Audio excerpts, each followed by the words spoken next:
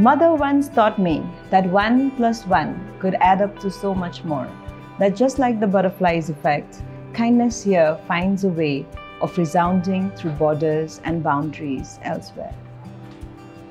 26 years since that the seed had been planted, and after a few upheavals, some dormant weathers, and many a calm and beautiful seasons, we stand here today under the expansive tree of a family that is Amics Del Nepal.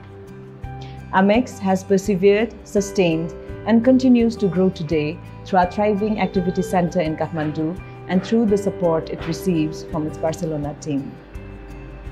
And as we design new plans for the coming year for our children, youth, and women, we are thankful to all our supporters across the globe for their solidarity and their humanity in making this a reality so we can say Amics truly is a friend of Nepal.